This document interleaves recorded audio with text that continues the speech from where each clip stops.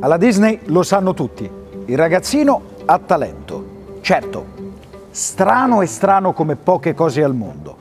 Quando gli nominano Biancaneve o il vecchio zio Walt gli viene sempre un principio di orticaria. E un giorno si è anche staccato un dente a mani nude e ha inzozzato di sangue tutti i corridoi, così perché si annoiava. Però ha talento.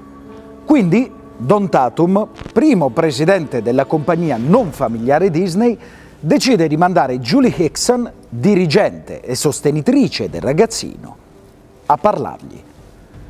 Lei va e gli dice, guarda, eh, per carità sei bravo, eh, hai talento, però sei un po' troppo fuori di testa. Dei tuoi disegni ai piani alti non sanno proprio che farsene. Troppo macabri, troppo strani, troppo cupi. Ricordati che, come diceva Walt Disney, tutto questo è iniziato con un topolino lui la guarda con i suoi occhi vacui, vitrei, assenti e le dice, sì, Giulia, effettivamente hai ragione, però vedi nei miei disegni, io preferisco sempre che quel topolino sia morto. Il nome del ragazzino è Tim Burton.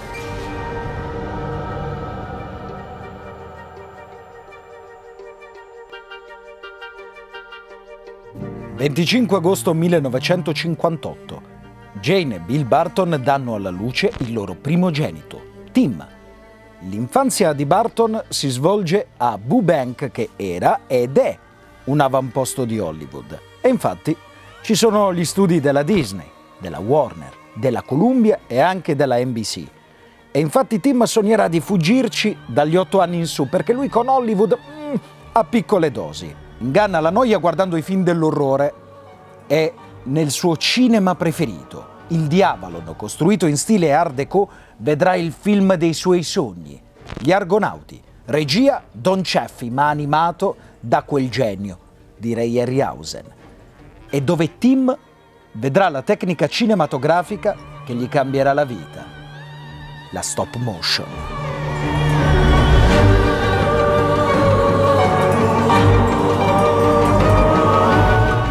A 16 anni, per incompatibilità affettiva con i suoi genitori, va a vivere dalla nonna.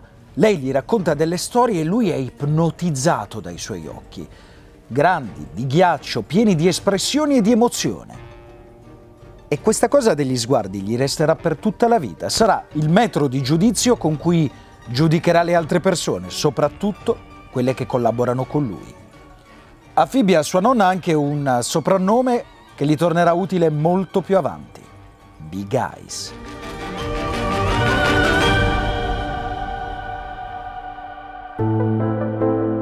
Nel tempo libero, per pochi dollari, decora le finestre dei vicini con zucche scheletri per Halloween e con paesaggi innevati per Natale. Un giorno per la signora Clark, che abita a due isolati di distanza da casa sua, disegna uno scheletro a cui mette il cappello di Babbo Natale e gli dà nome Jack. Una mattina, mentre sta passeggiando per Bubank, vede un commesso sostituire le decorazioni di Halloween con quelle natalizie. Ne rimane talmente impressionato che ritorna a casa e scrive una poesia, che nella parte centrale recita Anche tu, se lo vuoi, canta la ballata della zucca con noi.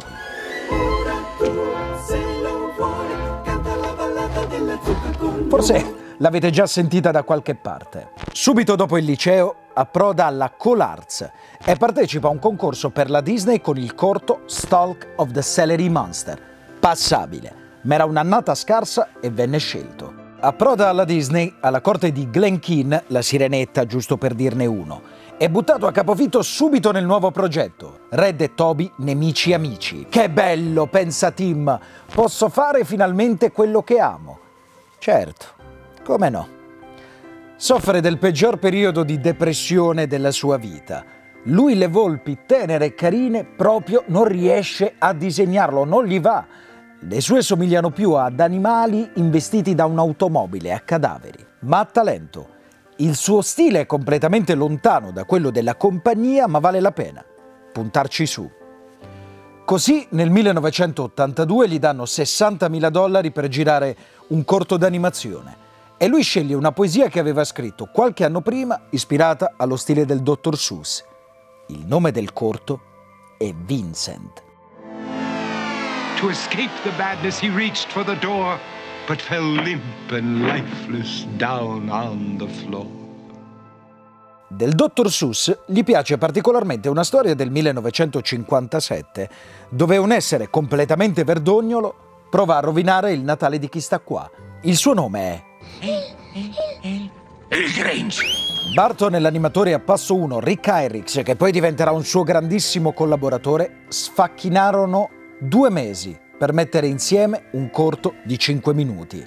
Prima di finire nel vasto archivio della Disney, Vincent venne proiettato al Cinema Odeon di Los Angeles, accompagnato per mano da Tex, un teen drama con Matt Dillon.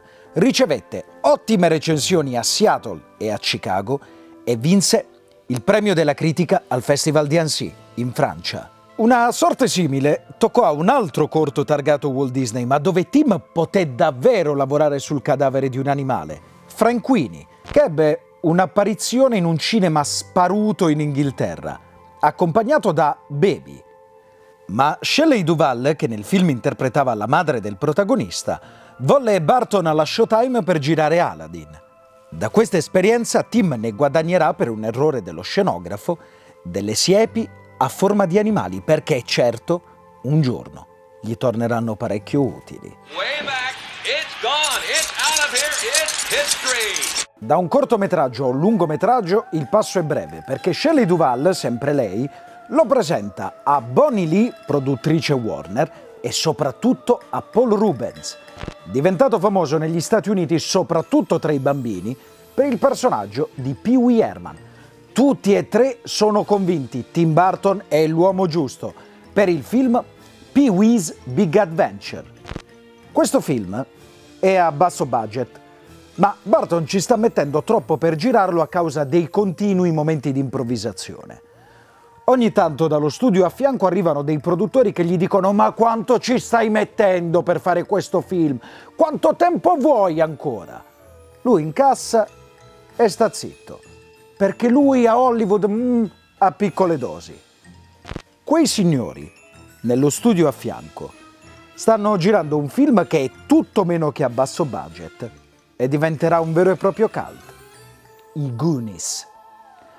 Sul set di Pee-wee Barton fa un altro degli incontri della sua vita, perché conosce il cantante e chitarrista di una band New Wave, Yoingo Boingo, Danny Elfman. Ne risentiremo parlare, soprattutto con Barton. Il film ha un grandissimo successo di pubblico e il nome di Barton infatti inizia a girare, ma la critica lo stronca, soprattutto parla malissimo della regia. E mentre lui sta leggendo queste critiche, sul giornale di Hollywood, con una lacrimuccia, suonano al citofono.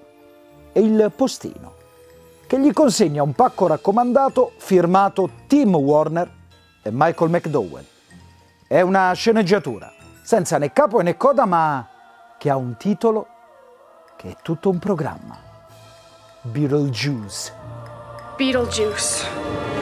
It's showtime.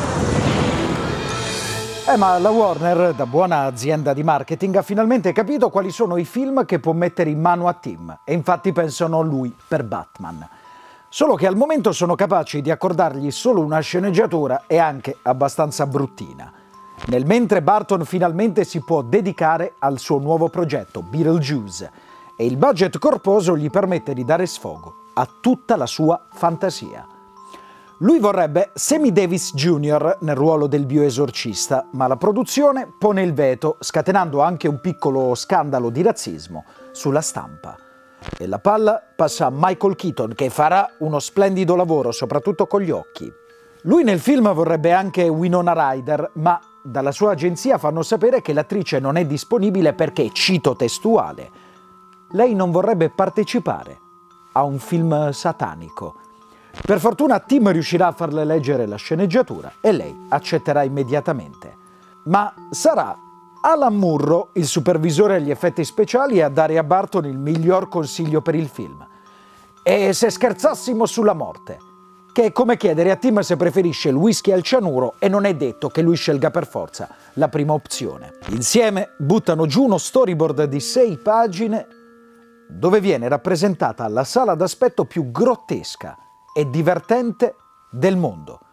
Quella dove troviamo il sommozzatore a cui uno squalo ha mangiato i piedi e che ancora il pesce attaccato alle gambe. Oppure dove c'è l'assistente tagliata in due dal mago o ancora l'uomo arso vivo perché fumava a letto. Ma il vero problema del film è sul titolo. Alla produzione Beetlejuice non piace, per loro non significa nulla. Loro vorrebbero un titolo meno evocativo, House of Ghost, ma Tim lo odia questo nome. E un giorno per fare una battuta durante una riunione esclama perché non lo intitoliamo Scared Shitless, spaventati senza lenzuolo, che in inglese si pronuncia nello stesso modo di spaventati a morte. Il problema è che lo prendono sul serio. Risposta di Tim. Porta sbattuta e dovrete passare sul mio cadavere. Per fortuna non lo faranno. C'è però un detto ebraico che ha molto senso con questa storia. Vuoi far ridere Dio? Raccontagli i tuoi progetti. La scena è questa. David Geffen, fondatore della Geffen Company che cura gli interessi del film, dopo aver visto le prime scene girate, durante una riunione entra, sbatte Tim al muro e gli dice Tim, questo film non ha nemmeno un finale, quali sono le dieci regole di Hollywood? Te le dico io, pezzo di idiota.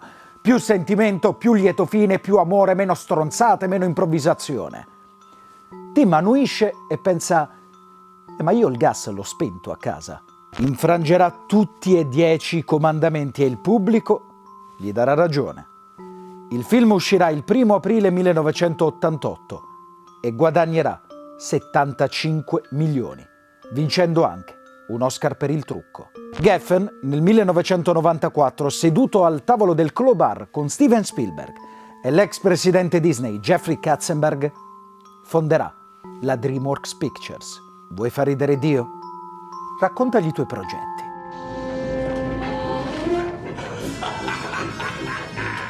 Dopo il successo di Beetlejuice, finalmente la Warner si decide. È il momento di spendere bei soldoni per Batman. I diritti cinematografici del personaggio della DC creato da Bob Kane vennero venduti nel 1979 a Melniker e Uslan, che chiamarono Tom Mankiewicz, lo sceneggiatore di Superman, per scrivere qualcosa sulle origini del Cavaliere Oscuro. Ma le prime bozze non furono un granché e quindi la palla passò a Tim Burton e Sam Hamm. Loro volevano una Gotham più cupa, più infernale, più spettrale. E per farlo tirarono fuori dal loro scaffale due piccoli capolavori. Il ritorno del Cavaliere Oscuro di Frank Miller e soprattutto una pietra miliare non delle graphic novels, ma della letteratura. The Killing Joke di Alan Moore. La scelta di Jack Nicholson ricevette consensi unanimi e vorrei anche vedere se non chiami il più pazzo degli attori per interpretare il più pazzo dei pazzi chi chiami. Per Michael Keaton invece fu tutta un'altra storia. E all'inizio a volerlo non fu Barton, ma il produttore John Peters. La Warner venne subissata da 50.000 lettere di protesta da parte di fan inorriditi. E la notizia arrivò anche a Wall Street dove la Warner subì un vero e proprio tracollo, altro che martedì nero del 29. Su Los Angeles Times uscì anche una letterina mica male. Cito testuale, scegliendo un buffone per questo ruolo, la Warner e Barton hanno defecato sulla storia di Batman. Insomma, non si partiva sotto i migliori auspici. Il film uscì negli Stati Uniti il 21 giugno 1989 e guadagnò 100 milioni nella prima settimana. Alla fine dell'anno diventerà il film più visto dell'89, incassando 500 milioni e creando un fenomeno di marketing che verrà ripetuto solamente nel 1993 dal primo film in alto budget in CGI, Jurassic Park.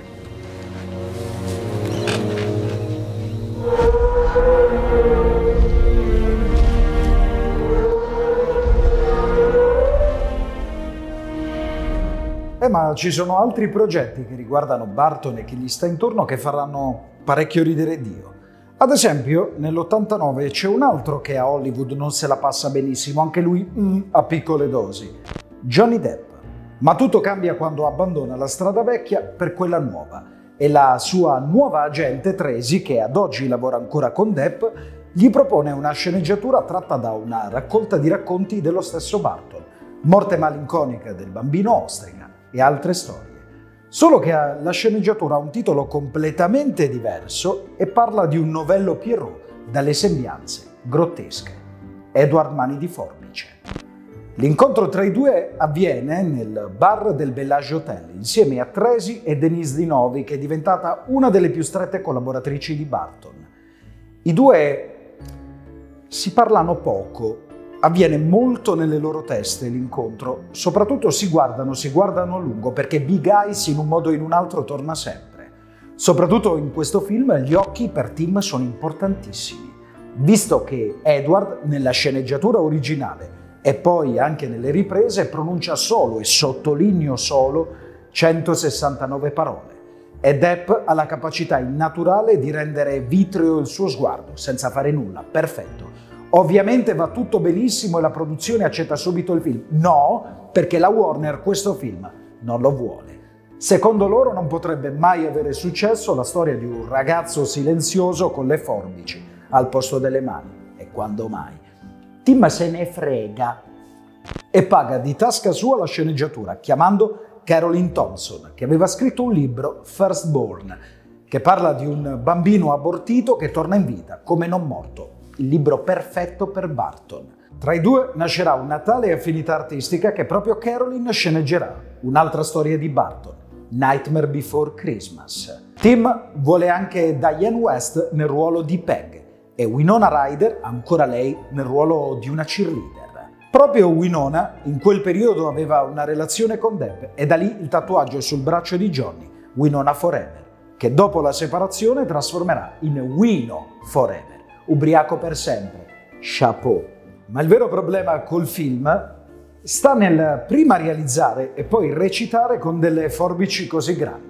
Il primo problema viene ovviato chiamando Stan Winston, già vincitore di due premi Oscar, uno per Aliens e uno per Terminator 2. Per il secondo, invece, ci vuole la totale dedizione al lavoro di Johnny Depp, che inizia a stare con le forbici anche subito dopo le riprese mentre mangia, mentre parla con gli altri e anche quando va in bagno. Come abbia fatto io non lo voglio nemmeno sapere. Il film uscirà il 7 dicembre 1990 e farà incassare alla Fox tra il noleggio in VHS e la visione al cinema 70 milioni di dollari.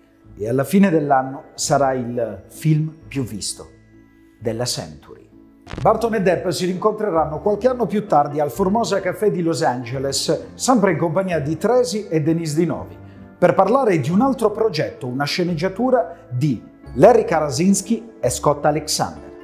Ed Wood, la storia del peggior regista di tutti i tempi. E siccome a Tim, subito dopo Pee-wee, quel marchio glielo avevano affibbiato, dice subito sì. Quel personaggio è suo, meglio ancora, quel personaggio è lui.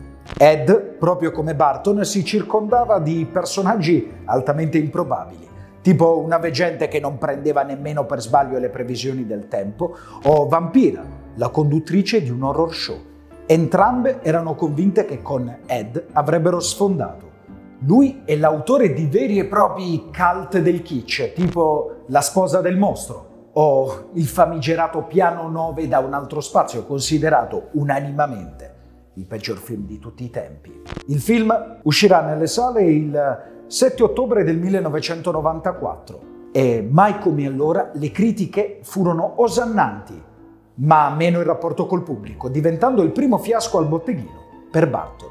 Ma siccome in questo film ci sono le anime di due bilancia, Tim ed Ed, ovviamente c'è un rovescio della medaglia, perché vincerà due Oscar, uno per il trucco a Rick Baker e uno per migliore attore non protagonista a Martin Landau, che nel film interpretava Bela Lugosi, uno dei più grandi Dracula di sempre. Sono certo che durante quella notte degli Oscar, Depp e Barton, Ed Wood chissà dove, e soprattutto Dio, abbiano riso parecchio.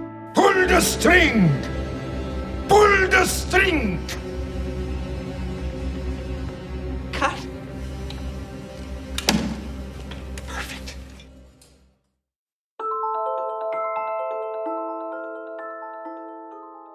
Un giorno Barton torna a casa dopo un'intervista e per rilassarsi un pochino comincia a mettere a posto la sua scrivania e ritrova un plico di fogli contenente uno storyboard dedicato alla poesia di cui parlavamo in apertura. Anche tu, se lo vuoi, canta la ballata della zucca con noi. Cercava di realizzare questo progetto dal 1982 e il suo fidato collaboratore Rick Heinrichs aveva costruito anche un modellino in 3D del protagonista, Jack Skellington.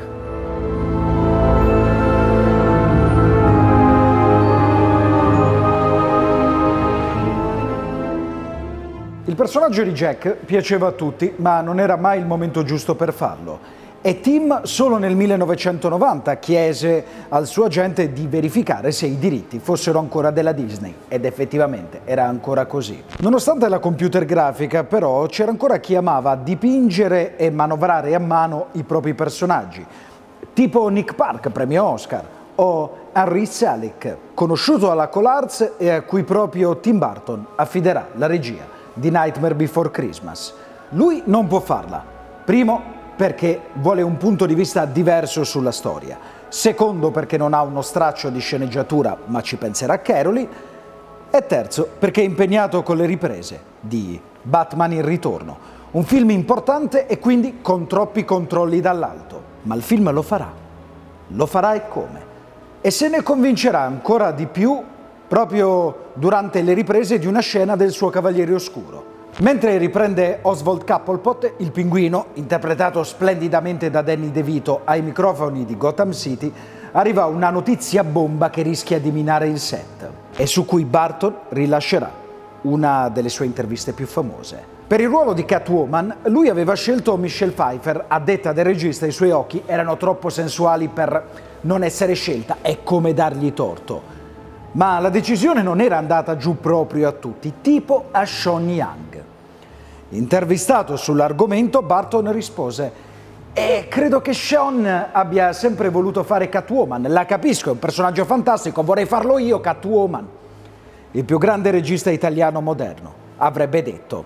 Genio! Ci vollero però tre anni per realizzare Nightmare Before Christmas, con la Disney sempre alle calcagna a dire non è un film per famiglie, non è un film per la Disney, non è un film per i bambini. Motivo per cui nel 1991 Denise Zinovi e Tim Burton, insieme alla sorella maggiore ma alcolizzata della Disney, la Touchstone, fonderanno la Jack Skellington Production, dando il via alla produzione del film. Il film costò meno di 18 milioni e uscì nelle sale la notte di Halloween del 1993. Incasserà 51 milioni. E nonostante le recensioni, le critiche e il successo di pubblico, tutto molto positivo, c'era ancora chi scriveva sul giornale. È un film troppo cupo per essere un film per famiglie. Sarà anche cupo? Va bene, lo accetto. Ma il mondo si divide tra chi si emoziona per Re del Blu Re del Mai e chi mente per davvero. E siccome la curiosità non è peccato, secondo voi, Nightmare Before Christmas, quando va visto? Ad Halloween o a Natale?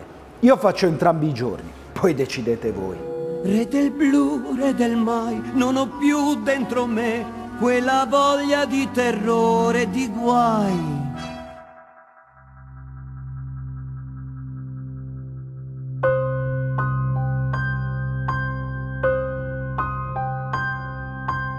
Se ti chiami Tim Burton e sei cresciuto al cinema Avalon inseguendo tre horror a sera, è normale che prima o poi pensino a te per almeno due storie del terrore. Solo che entrambi i film sono ammantati dalla leggenda, hanno un quartiere degradato sullo sfondo e Johnny Depp come attore protagonista. La prima storia è la trasposizione di un mito germanico poi rivisto dalla sadica penna di Washington Irving, che parla di un cavaliere senza testa affrancato dal talento deduttivo di Ichabod Crane, tutto nella misteriosa cornice di Sleepy Hollow, mai titolo fu più evocativo. Ciò che convinse Barton ad accettare lo script di Kevin Walker, che fino a quel momento aveva una sola sceneggiatura, Seven, forse ne avete sentito parlare, fu l'opportunità di cimentarsi finalmente con il vero cinema horror e soprattutto di potersene andare da Hollywood. Il set venne ricostruito grazie alle sapienti mani di Rick Heinrichs nella Lime Tree Valley, a Merlo. Il film uscirà nel dicembre del 99 e mai come allora Barton ricevette delle critiche così lusinghiere, forse solo per Ed Wood. Ma durante la premiere si accorse di un piccolo dettaglio nei titoli di coda. Francis Ford Coppola, Sua Maestà, era il più importante produttore esecutivo del film e lui non lo sospettava nemmeno fino al giorno della prima. Benvenuti nel magico mondo di Hollywood. Il secondo film parla di un serial killer vissuto in Fleet Street nel XVII secolo, che tagliava la gola ai suoi clienti e poi grazie a una botola li lasciava cadere nel forno della sua accomplice, Miss Nellie Lovett, che li utilizzava come ripieni per i suoi pasticci di carne. Questa storia, ancora oggi, divide l'opinione pubblica, perché secondo alcuni Sweeney Todd è realmente esistito secondo altri è tratto dalla penna magnifica di Thomas Becket Priest. Nel 2006 Barton era pronto per girare Believe It or Not con Jim Carrey, ma all'ultimo momento la Paramount bloccò i lavori e la DreamWorks chiuse il contratto per Sweeney Todd e ovviamente scelse Tim come regista. Ma contenere tre ore di musical non era facile all'interno di un film, quindi alcune canzoni vennero scartate, tra cui la splendida The Ballad of Sweeney Todd che nello spettacolo originale introduce il personaggio del barbiere, ma non il personaggio come l'aveva pensato Tim, che infatti preferì No Place Like London in duetto con Anthony. Su Depp nessun problema, era perfetto. Il vero problema era l'attrice protagonista. Elena Bonham Carter, compagna di Barton, adorava il musical fin da bambina e voleva quella parte. Ma nonostante lei ai provini fosse stata bravissima, Barton temeva l'opinione pubblica. Non voleva che la gente credesse che lui l'avesse scelta solo per la relazione che intercorreva tra di loro. Tornò a New York e continuò a fare altri provini. Ma alla fine fu proprio Sondheim, l'autore delle musiche del musical originale, a sceglierla. Risultato? Ce lo racconta proprio Barton nella sua intervista autobiografia. Un film come questo è una strana scommessa perché un musical pieno di sangue è vietato ai minori. La gente che frequenta i musical di Broadway generalmente non va a vedere i film truculenti, mentre chi ama i film truculenti di solito non frequenta Broadway. Perché solo Barton, ma solo lui davvero, poteva unire entrambi i tipi di pubblico e far accapponare la pelle a entrambi senza distinzione.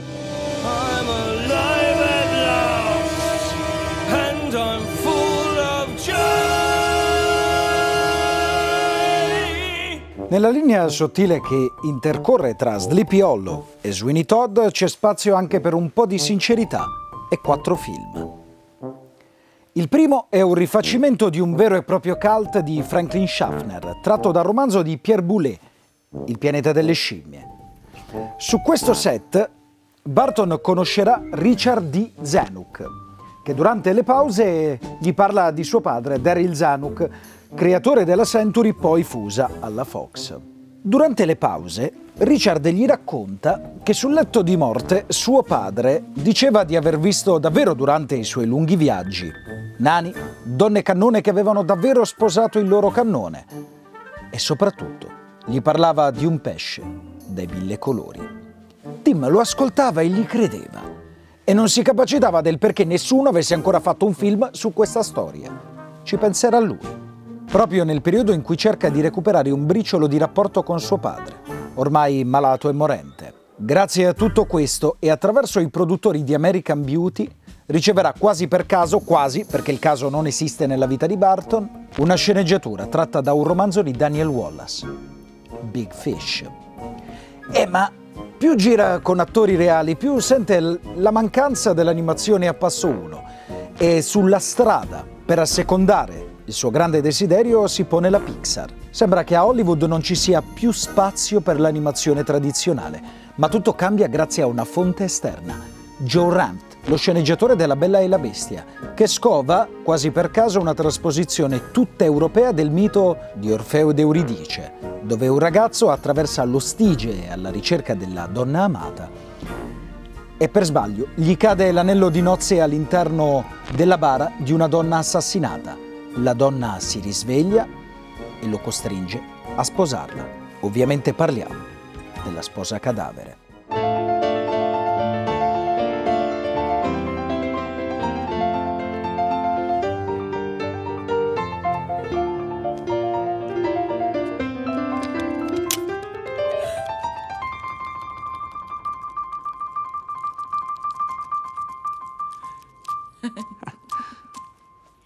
Ci vollero però dieci anni per il no definitivo della Disney che oramai aveva preso strade completamente diverse dall'animazione a passo 1, prima che la Warner decidesse di acquistare i diritti. E lo farà. Lo farà e come? Proprio mentre Barton sta girando la fabbrica di cioccolato. Già, la fabbrica di cioccolato. Nel 1971 Mel Stewart aveva già realizzato una versione del romanzo con protagonista meme non solo quel genio di Gene Wilder, ma alla morte dello scrittore, la Warner chiese alla vedova Lizzie Dale i diritti per una nuova trasposizione. Lei, donna squisita, però era riluttante a un'altra versione, a un'altra trasposizione del personaggio di Willy Wonka. Si convincerà, ma a un'unica condizione. Potere di veto definitivo su tutti i personaggi. Storia complessa, ma perfetta per Barton perché i bambini i protagonisti non sono quelli della casa della prateria o della famiglia Brady, no, sono quelli del Signore delle Mosche. Se li lasci da solo un minuto, secondo me si ammazzano senza pensarci su due volte. Poi, per la prima volta, quando Barton propone Depp, nessuno ha nulla da obiettare, anzi a proporlo è il produttore Alan Horn. E ci credo. Depp veniva da una nomination agli Oscar per i Pirati dei Caraibi, ne riceverà un'altra proprio per Sweeney Todd. Barton pretese e ottenne di poter ricostruire la fabbrica in versione futuristica ai Pinewood Studio. Ma la volete sapere veramente una cosa figa sulla fabbrica di cioccolato? Avete presente la scena degli scoiattoli? Ve la faccio rivedere. Ecco, quegli scoiattoli non sono in computer grafica, sono reali e sono addestrati da Mike Alexander e da allora il suo ranch è uno dei più visitati al mondo. È ancora aperto, vi consiglio di andarci. Barton ricostruì tutte le stanze che voleva, non al computer, ma sui set dove un tempo venivano girati i film di 007 e le riprese della fabbrica di cioccolato erano così blindate che ogni tanto qualcuno degli addetti ai lavori si avvicinava e chiedeva Barton, Tim, stai davvero girando un nuovo film su James Bond? E siccome lui in queste cose si diverte sempre come un matto, rispondeva sempre nello stesso modo, sì sì, un film in cui Bond affronta dei bambini. Zombie. René, parola di nuovo a te. Genio!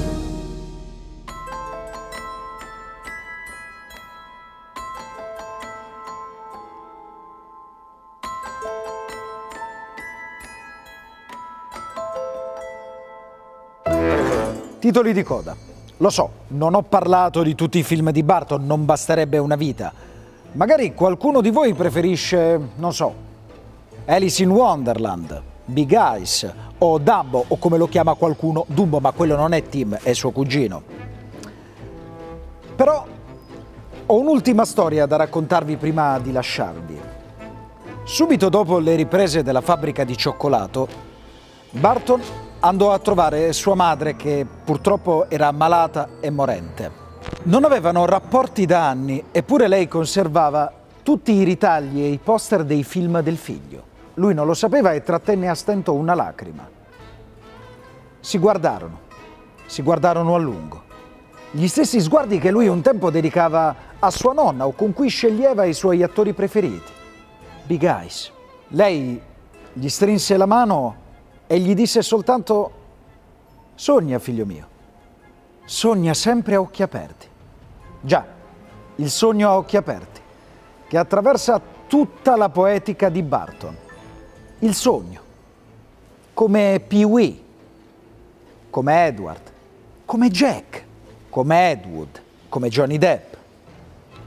Perché, come diceva Edgar Allan Poe, grandissima fonte di ispirazione per Barton, chi sogna a occhi aperti è a conoscenza di molte più cose di chi sogna da addormentato.